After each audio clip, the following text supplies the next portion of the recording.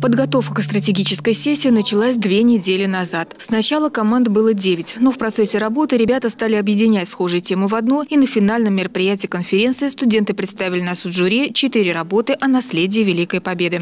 Стратегическая сессия, она э, собирает людей для того, чтобы они подумали о каких-то очень важных вопросах. И это не обязательно эксперты.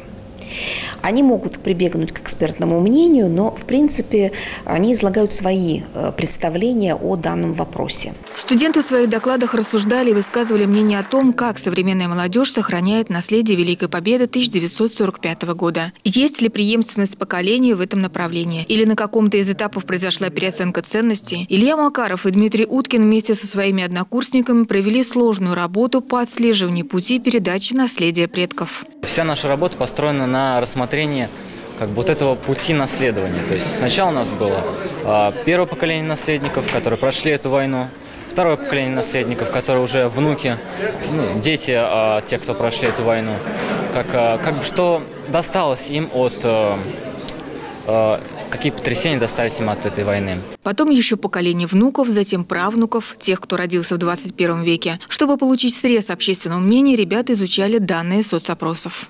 Например, запрос Российского центра исследования общественного мнения или э, опрос российской газеты.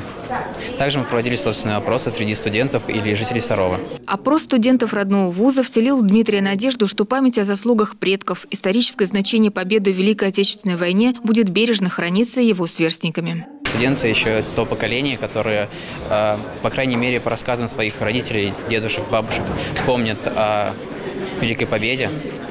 И вполне возможно, что дальше будут передавать это знание своим детям. Члены жюри стратегической сессии оценивали согласованность и слаженность действий команд, ораторские способности студентов и их умение презентовать свои доклады.